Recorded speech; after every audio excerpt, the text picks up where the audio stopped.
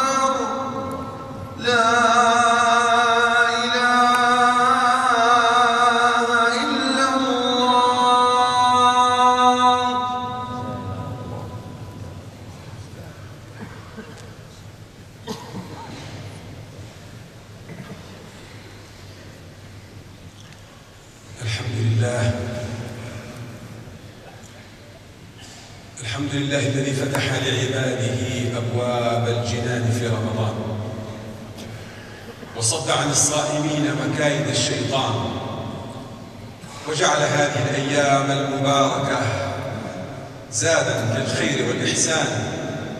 نحمده حق حمده ونشهد أنه الله الواحد الأحد الملك الديان. ونشهد أن سيدنا ونبينا محمدا عبد الله ورسوله. بلغ الرسالة وأدى الأمانة وحد الخلائق إلى مرضات الرحمن. صلى الله على هذا النبي الكريم. وعلى آله وأصحابه أولي النباهة ورفعة الشان ومن اهتدى بهديهم إلى أن يقوم الناس إلى الملك الديان. يا أيها الذين آمنوا اتقوا الله حق تقاته ولا تموتن إلا وأنتم مسلمون. عباد الله أوصيكم ونفسي الخاطئة بتقوى الله وأحثكم على طاعته. وأستفتح بالذي هو خير قال الله تبارك وتعالى في محكم التنزيل من ذا الذي يقرض الله قرضا حسنا فيضاعفه له أضعافا كثيرة والله يقبض ويبسط وإليه ترجعون. عباد الله حطت رحال الموكب النبوي على أبواب يثرب في قباء وانجفل الناس إليه والناس فيهم المسلم وفيهم المشرك وفيهم الكتابي وفيهم العربي وفيهم العجمي. انجفل الناس إلى محمد صلى الله عليه وسلم. وأرادوا أن يروا هذا الرجل الذي سبقت سمعته إليهم. وكان في من جاء رجل حبر عالم من علماء أهل الكتاب. ومن سادتهم عبد الله بن سلام يقول كنت في من جاء عندما انجفل الناس. فلما رأيت محمدا عرفت أن وجهه ليس بوجه كذاب لما رأيته عرفت أن وجهه ليس بوجه كذاب وأول كلمة سمعتها منه سمعته يقول أيها الناس أيها الناس أفشوا السلام وأطعموا الطعام وصلوا الأرحام وصلوا بالليل والناس نيام تدخلوا الجنة بسلام.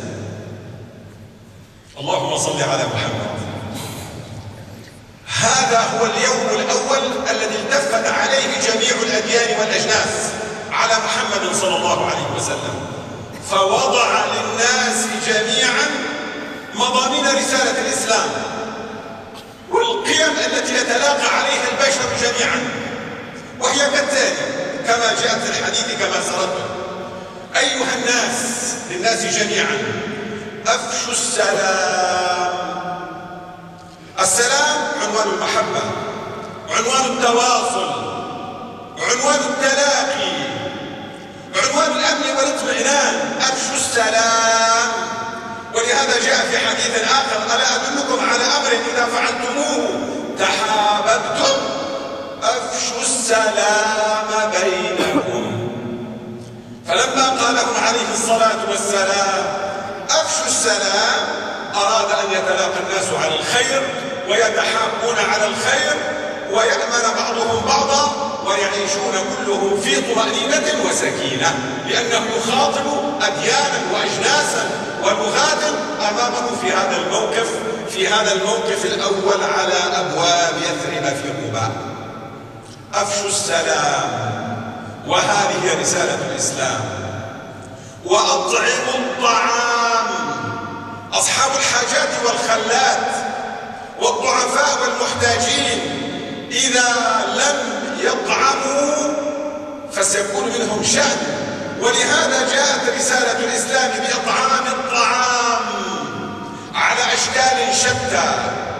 أشكال شتى الزكوات الصدقات الهدايا الهبات القروض. قروض الحسنة فيما بين الناس انظار المعسرين. هذه كلها سد لخلة المحتاجين بين الناس. أطعموا الطعام. وصلوا الأرحام. التلاحم الاجتماعي بين الأقارب بين القبائل بين أبناء الوطن الواحد بين العشائر بين أبناء المدينة الواحدة. كلهم أرحام تجمعهم. وصلوا الأرحام. إذا صنعتم ذلك أقبلتم على الله بطمأنينة وتفرقتم العبادة. إن العبادة في الأرض لله لا تكون إلا مع السلام والأمن. عندئذ يتفرغ العابدون للعبادة وعندئذ يقبل المقبلون على الله بشتى أنواع الإقبال بصيام وصلاة واعتكاف وتساميح. هنا عند حصول السلام يحصل العبادة الحقيقية بأمن وأمان دون خوف ولا وجل. هذه رسالة الإسلام على مدار السنين والأعوام إلى آخر الدهر ولكنها كانت أكثر ما تظهر من نبينا عليه الصلاة والسلام كانت تظهر في رمضان. كانت تظهر في رمضان. وكان إفشاؤه عليه الصلاة والسلام للسلام وللأمن والأمان في رمضان أكثر منه في أي وقت آخر. في مثل هذه الأيام يا أمة محمد في مثل هذه الأيام توجه رسول الله صلى الله عليه وسلم إلى مكة فاتحا بعد أن غدروا ونقضوا العهد. بعد أن غدروا ونقضوا العهد. وسفكوا الدماء ظلما وعدوانا. توجه إليهم عليه الصلاة والسلام في رمضان. ودخلها إما في الثامن عشر أو في الواحد والعشرين من رمضان كان دخول مكة. ولكن لم يكن هذا الدخول بالجيش العرمرم إلا بالأمن والسلام. لم يكن لقتل تحقق السلام حتى في هذه الحالة. تعلمون جميعا كيف شرد من مكة وكيف طرد منها وكما قال الله تعالى أخرج منها. يخرجوك أخرج منها. وأخذت أمواله وداره وكل شيء. ومع ذلك عاد يحمل الأمن وإفشاء السلام. كان من أشد الناس عليه ظلما وعدوانا. ابن عمه ورضيعه أخوه في الرضاعة أبو سفيان بن الحارث.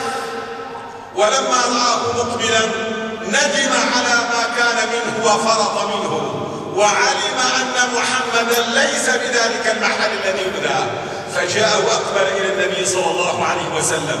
هو ابن عمه ورضيعه أخوه مرضى وابن عمته عبد الله بن أمية بن المغيرة. أقبل إليه وهو على أبواب مكة. والناس يعلمون الإذاية التي حصلت منه. فجاء إليه بعض المسلمين الذين عرفوا رسالة الإسلام وتشبعوا بها وقالوا له يا أبا سفيان تعال تلقاء وجه ابن عمك وقل له تالله لقد آثرك الله علينا وإن كنا لخاطئين. فلن يقول لك إلا القول الحسن. ولن يرد عليك إلا الرد الآمن. فجاءه وقال له تالله لقد آثرك الله علينا. وإن كنا لخاطئين. فأجابه مباشرة رسول الله صلى الله عليه وسلم بإفشاء السلام. قال له لا تثريب عليكم. اليوم يغفر الله لكم وهو أرحم الراحمين. ودخل مكة. ماذا سيصنع بهم؟ قال ما تظنون أني صالح بكم في مثل هذه الأيام؟ أيام الصفح أيام السلام أيام الأمن أيام رمضان. فقالوا أخ كريم وابن أخ كريم. قال اذهبوا فأنتم الطلقاء. اذهبوا. صفحة طويت وجاء الله بالأمن والسلم والسلام لمكة وللعالم مع محمد عليه الصلاة والسلام. وفر منه عكرمة بن أبي جهل ابن أبي جهل عكرمة الذي لم يترك موقفا إلا وحاربه فيه ولم يترك قوة إلا وسخرها لحرب محمد. هرب من محمد عندما دخل مكة. بعد أن حاربهم وهزم وانكسر في في أزقة مكة هرب تجاه اليمن تلقاء اليمن. فجاءت امرأته إلى النبي صلى الله عليه وسلم امرأته امرأته جاءت إلى الحبيب المصطفى وقالت يا رسول الله عكرمة قال أعطه الأمان وليأتينا. جي به آمنا معززا مكرما. وكان ذلك فتبعته زوجته حتى لحقت به وأتت له بعلامة من النبي صلى الله عليه وسلم. وجاء ولما أقبل على الحبيب المصطفى هش له وبش ورحب به وأكرمه وصفح عنه وحقق له السلام والأمن. إفشاء السلام إفشاء السلام.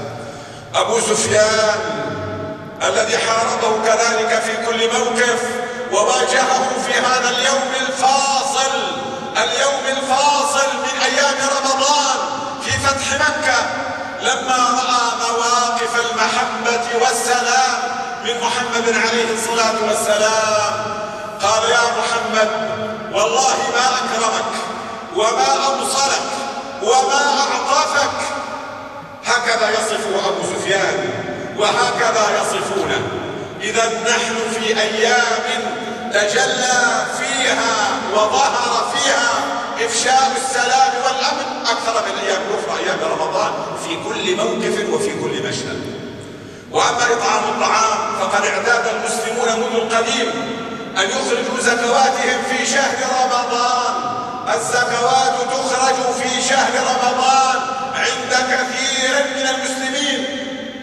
لماذا؟ لأنها أيام مباركة والصدقة فيها مباركة والخير فيها مبارك فيخرجون زكاتهم في كل رمضان يجعلونه موعدا لإخراج حق الفقراء والضعفاء والمساكين وهؤلاء الذين لا يخرجون زكاتهم نذكرهم بقول الله تبارك وتعالى والذين يكنزون الذهب والفضة ولا ينفقونها في سبيل الله فبشرهم بعذاب أليم يوم يحمى عليها في نار جهنم فتكوى بها جباههم وجنوبهم وظهورهم. هذا فذوقوا ما كنزتم هذا ما كنزتم فذوقوا ما كنتم تكنزون. إخوة الإيمان إخراج الزكوات في هذه الأيام تسد الخلات وترفع شأن الضعفاء لأن الله تبارك وتعالى لأن الله تبارك وتعالى لا يريد في أمة الإسلام أو في الناس جميعا من يكون هو ضعيف يشعر بالغدر يشعر بالضعف يشعر بالمهانة يشعر بالتقصير. أراد الله عز وجل أن يعيش الناس كلهم وخاصة أمة محمد أن يعيشوا بعزة ورفعة وكرامة. وكذلك الصدقات والضيافات في رمضان. ثوابها عظيم حتى بإفطار الصائم. أضعفها أن تفطر الصائم. وإن لم تجد فلا تعدم أن تكون إيجابيا بكلمة طيبة. ودعاء صالح دعاء صالح. الكلمة الطيبة صدقة. والدعاء الصالح يدل على أنك مندمج في عالم الخير متواصل في عالم الخير. هل هناك أقل من هذا؟ هل هناك أقل من هذا يا أمة محمد؟ الكلمة الطيبة والدعاء الصالح لمن أحسن إلينا لأمة محمد لهداية الناس للخيرين يحقق الله الأمن والخير للبشر جميعا هل هناك أقل من هذا؟ وصلة الأرحام وصلة الأرحام هذا شهر التواصل تبلغ القضية التواصل ذروتها عالم المسلمين عندما يجتمعون في صلاة العيد كلهم في صعيد واحد في صعيد واحد ويحيي أحدهم الآخر ويقول له تقبل الله منك. ثم يعودون من طرق أخرى غير التي جاءوا منها ويصلون أرحامهم ويهنئ بعضهم بعضا بفرح وسرور. تبلغ الصلة هنا قمتها وأما قمة العبادة فنحن مقبلون عليها في العشر الأواخر التي كان إذا كانت إذا دخلت. شد رسول الله صلى الله عليه وسلم المئزر. شد المئزر وأيقظ أهله وأحيا ليله وكان يبقى طول الليل يخلو بربه مع جبريل عليه السلام يدارسه القرآن في ذكر وعبادة وتأمل. ونحن حقيق بنا بهذه العبادة أن نخلو مع الله القلب وخلجات القلب من السوء وطيات الفكر من الانحراف وحركات الجسد مما لا يليق. إذا بلغنا هذا نكون ممن خرجوا من رمضان كما يريد الله سبحانه وتعالى. هذه القيم الإسلامية هذه المعاني الربانية لا بد لنا اليوم من ذكر من ذكر أمر في غاية الأهمية بعد غد إن شاء الله سيكون في هذا الوطن يوم العمل الإنساني. يوم العمل الإنساني. هذا اليوم اختير لأنه فيه فارق هذه الدنيا فارق هذه الحياة وأقبل على ربه. الشيخ زايد بن سلطان آل هيان أعلى الله مقامه. إن هذا الرجل إن هذا القائد الفذ وهذا الرجل الإنساني كان أمثولة القيم. كان أمثولة القيم. ولهذا حقيق بهذا الوطن وجميل بهذا الوطن وبالمواطنين وبالمقيمين. وبكل من أحب الشيخ زايد بن سلطان أن يتفاعل مع هذا اليوم يوم العمل الإنساني لإحياء قيم الإسلام. كان هذا الرجل رحمة الله عليه. قد سن سننا حميدة وأعمالا سديدة ورؤى ورؤى وأفكار رشيدة عالمية. في مثل هذا الشهر كان يستخدم العشرات من العلماء ويفتح له الأبواب. قولوا الكلمة الهادية دلوا الخلق على الخالق صلوا الناس بربهم علموا الناس الفضيلة يفتح له الأبواب. عشرات من كبار علماء الدنيا تحبهم لهذا الوطن. في مثل هذا الشهر بل وقبل هذا الشهر على مشارف هذا الشهر كانت مضارب الخير تنتشر في هذا الوطن في إطعام الطعام. بل وتتعدى هذا الوطن لتصل الدنيا من جهاتها الأربع. عربها وعجمها مسلمها وغير مسلمها. يعلم أن هذا الشهر مبارك فيوزع الخيرات يطعم الطعام للمحتاجين والفقراء. وكذلك وكذلك صلة الأرحام. كان يصل حباله مع الناس جميعا. كان بابه مفتوحا. كان بابه ومبراته متواصلة للقريب والبعيد للقريب والبعيد. للناس كلهم داخل هذا الوطن وخارجه. إنه كان ذا رؤية إنسانية تمتح من معين القرآن والسنة وتطل على الدنيا لتقول لهم هذا هو الإسلام وهذه رسالة الإسلام. وقد أثرت عنه بقوله وفعله. بقوله وفعله. كلمة كلمة مأخوذة من حديث رسول الله. كان يرددها على الدوام بقوله وفعله. الأرض أرض الله والخلق خلق الله. وأحب الناس إلى الله أنفعهم لخلق الله. هكذا كانت رؤيته إنسانية. وهكذا كان عمله إسلاميا وهكذا كان قلبه نابضا وناظرا بحب الخير. ولهذا هذه السنن الحميدة استمرت والحمد لله استمرت والحمد لله في هذا الوطن. فنحن في هذا اليوم لا يمر علينا يوم إلا ونسمع في جهات العالم عدم هذا الوطن أنتم تعيشون فيه وترون نسمع في جهات العالم أن مبرات تصل إلى أصحابها وأهلها وأن خيرات وطعاما وكساء يصل إلى المحتاجين والضعفاء يمسح عنهم ألمهم ويزيل عنهم كربهم وحزنهم. هذا من السنن الحميدة التي زرعها هذا الرجل الإنساني الفن وهذا القائد المتميز وسار عليها قيادة هذا الوطن من بعده. إننا في كل يوم نرى هذا وبهذا تظهر قيم الإسلام ورسالة الإسلام ومعاني الإسلام. هنا تظهر ولهذا يا إخوة الإيمان حقيق بنا أن نتفاعل مع هذا اليوم لنحيي هذه القيم في ذكرى هذا الرجل العظيم الشيخ زايد بن سلطان على الله مقامه وهذا الذي حدا بقيادة هذا الوطن أن يفتح الأبواب للناس يذكروهم بقيم الإسلام ويجعل هذا اليوم عاما لكل الناس فلا علينا ومطلوبا منا أن نحقق هذا المعنى من أنفسنا ابتغاء مرضات الله سبحانه وتعالى ونخرج الصدقات لأهلها قليلا أو كثيرا. أختم بقول النبي صلى الله عليه وسلم كل امرئ في ظل صدقته يوم القيامة. كل امرئ في ظل صدقته يوم القيامة حتى يقضى بين الناس. هذا اليوم الذي تدنو فيه الشمس من الخلائق فيغرقون بعرقهم كل على قدر عمله وقدر ذنوبه. تأتي الصدقات فتحول بينك وبين الشمس. فأكثر أيها المسلم من الصدقات ما استطعت ولها أنواع شتى وظروف عديدة.